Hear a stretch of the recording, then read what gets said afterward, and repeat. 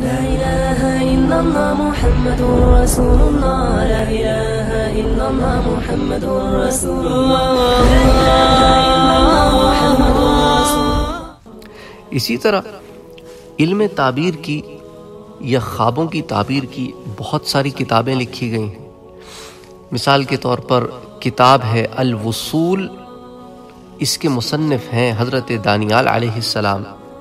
اسی طرح ایک کتاب التقسیم، اس کے مصنف ہیں حضرت امام جعفر صادق رضی اللہ تعالی عنہ۔ اسی طرح ایک کتاب ہے جامع، جس کے مصنف جو ہیں امام ابن سیرین رحمۃ اللہ علیہ ہیں۔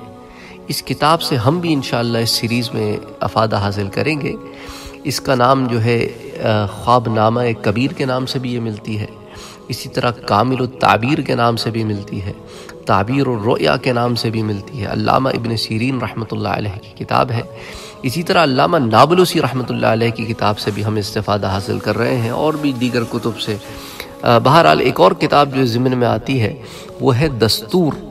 اس کے مصنف ہیں امام ابراہیم کرمانی رحمۃ اللہ علیہ۔ یہ وہ نام ہیں جن کو میں نے ابھی پچھلے درس میں علم تعبیر کے مشہور اماموں کے ناموں میں ذکر کیا، ان کی کتابوں کا ذکر کر رہا ہوں۔ اسی طرح امام جابر مغربی رحمۃ اللہ علیہ کا میں نے پچھلے درس میں ذکر کیا، ان کی جو کتاب ہے، اس کا نام ہے الارشاد۔ اسی طرح امام اسماعیل بن اشعث رحمۃ اللہ علیہ ان کی کتاب کا نام ہے التعبیر۔ تو یہ وہ چھ امام ہیں جن کا میں نے پچھلے درس میں ذکر کیا، یہ ان لوگوں کی کتابیں ہیں خوابوں کے متعلق۔ ان کے علاوہ اور بھی لوگ ہیں جنہوں نے کتابیں لکھی ہیں۔ مثال کے طور پہ کنز الرؤیا، یہ امام مامونی رحمۃ اللہ علیہ نے لکھی ہے۔ پھر بیان التعبیر ہے، یہ حافظ ابن اسحاق رحمۃ اللہ علیہ نے لکھی ہے۔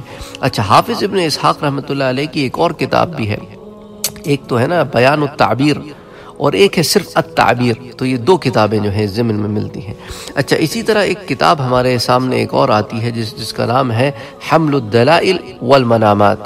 اسی طرح مبادی التعبیر ہے، اور اسی طرح جو ہے کافی الرؤیا ہے۔ اور کئی کتابیں ہیں اس ضمن میں، مفرح الرؤیا ہے۔